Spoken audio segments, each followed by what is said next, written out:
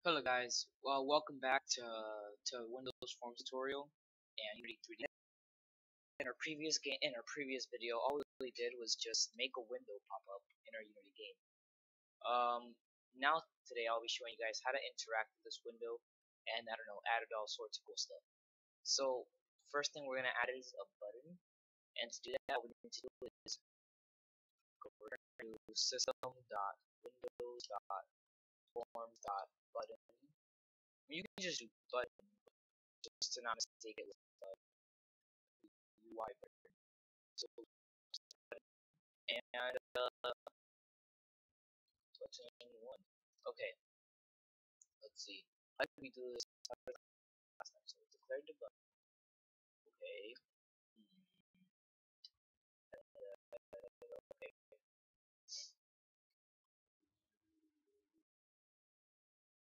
Okay, so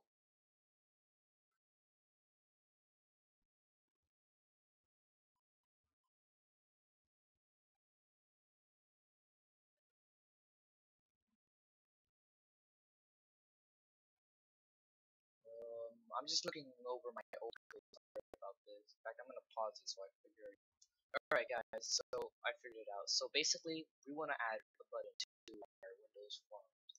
You're gonna do is just go ahead and declare a button, so system.windows.forms button, and then of course that we would form button one equals new system.windows.forms.button.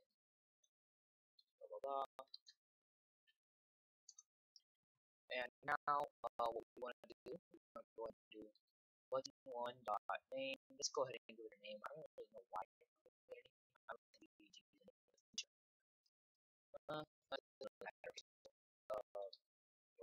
one. This only really matters if we're, uh, if we're with, with Windows Forms within Visual Studio or whatever. Uh, button one dot text. This is so dot text. If this was gonna this is what the button's gonna say on it. So print it. So explain why because we're gonna something it's going to print whatever we type in the text box. So uh, button one dot location. This is what we needed to point the the, the drawing well drawing namespace because that location this is vector two this is points. So new point equals new point. Let's give it 50 comma 60.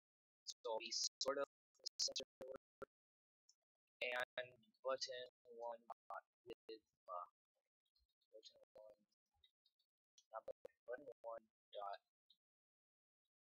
dot that's the point right? Uh, okay, dot with with equals let's get 100 and let's give it 80 nope. Uh 80 is okay and need to do to make it appear on our form is form dot controls dot add and just go ahead and add your button one. So just write that down and now of course if you're gonna have multiple ones you need to instantiate them like this one. Make sure they have a position, a width, so they're not too small, the text on them, the name on them, and just whatever. So if you want to have like multiple buttons, you know, you just go ahead and blah blah, blah multiple buttons and do the same thing for each one. But since we're only using one right now, and then of course add them. So if you had multiple buttons, you just do this and then add it button two, you know. So just like that. It doesn't have to be a button, whatever form item is there. Um, now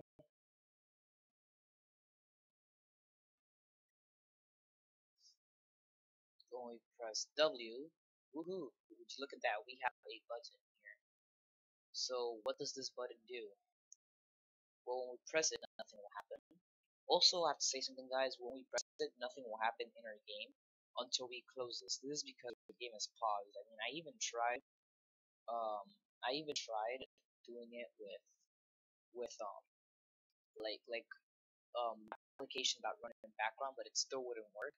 I don't know why, but yeah, this it just won't work until we close it. So if we wanted to do something, we had to click it and then do whatever we want to do and then close it. Now right now, it's not doing anything because I haven't signed it. Let's go ahead and create a text box. Text box. Create system.windows.forms. Okay, we're good. Forms.text box. Text box one. Uh, okay, so text box one dot equals new system dot windows dot forms dot text box. Semicolon and I'm just gonna copy that and paste it there so text box one right there dot text. We don't want it to have any text yet we're gonna make it blank. And text box that's gonna be your name. New point let's set it at 80 dot width equals let's width 200 and form dot compose that add? Text box one. Now let's just go ahead and press play.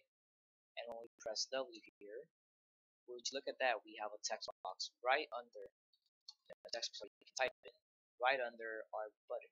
So now what we're gonna do is we're gonna make um we're gonna make basically uh, an action. So whenever whenever you uh, click on the button,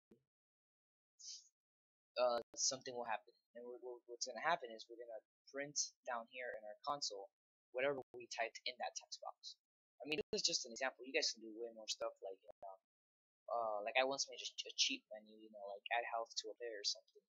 But yeah, so what we want to do is, uh, I believe, okay, here. So when we're declaring the button, we'll add something here. So let's one dot on click, yeah, dot click plus equals. Just stop it right there plus equals. It's gonna show us this little window over here. Press tab to insert, and when we press tab right there, it's gonna add that. And when we scroll down, it has created a method for us. And this is what's gonna happen whenever we click the one, the button. Guys, make sure to delete this line of code or just comment it out because it will crash your game. And I'll always do whatever, whatever, uh, whatever the text box says. So how do you do that? Well, print and text box one dot text. Again, we're gonna have to close the app, the window application, and then it's gonna show it Unity. So let's go ahead, guys. So basically, all you did was um, basically like this click event. Kind of, it's not really, but it's kind of like an event, uh, an array, and you just added something to it. So button click, blah, blah, blah, this will happen. Go back into Unity, press play. Now just print it out. Uh, okay, so now let's print out so you can see it. Let's print out. Wow, this is great. So let's click print it. Now as you can see, nothing has happened. We need to exit out of this Windows application. Exit out. It did not print it. Yeah, it did. Wow, this is great. As you can see here, it's not first. Uh, if we were to, if we were to remove this, don't print open Windows Forms, you can see here that it will. Guys, this is just an example on how to interact with it. It's very cool and I hope you guys enjoy it. This great. Print it. Looks it out. Wow, this great. Isn't that great, guys? Hope you guys enjoyed. Hope it helped, guys. Very cool thing you can do here with Unity and Windows Forms.